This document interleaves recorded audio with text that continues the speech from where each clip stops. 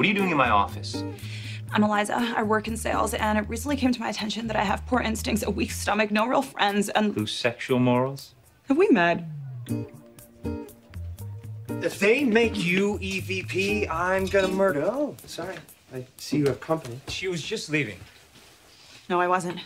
I'm not leaving until you say you'll help me. But you can't be helped.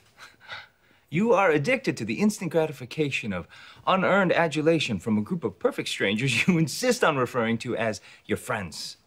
Our nasal spray caused satanic hallucinations, and you fixed that? Come on, I just want to change my image. Do you mean be a better person? Or that. Look, I'm not trying to like tug at your heartstrings or whatever, but I threw up really hard. Like my abs still hurt from throwing up that hard. And I don't know if either of you have ever thrown up that hard, hashtag the struggle. But it really makes you think. Makes you think what? I'm genuinely dying to know. When I was sick, not one person called to see if I was okay. And I don't know why. People used to hate me because I was butt, But ugly, aesthetically challenged. but I'm not butt anymore. Eliza, I'm sure you're aware it is possible to be beautiful on the outside and still but on the inside. Like Gwyneth Paltrow. Okay, you need to go. What? No. No, please. Look, I know, I know you don't like me.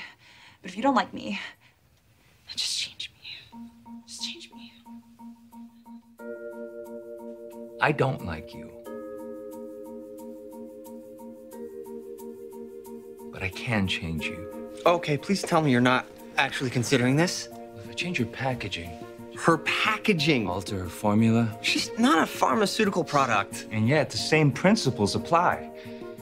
Just if I soften her palate, improve her taste, expand her market, I can transform this vapid, uh, despised, social media obsessed narcissist into a valued and respected woman of stature.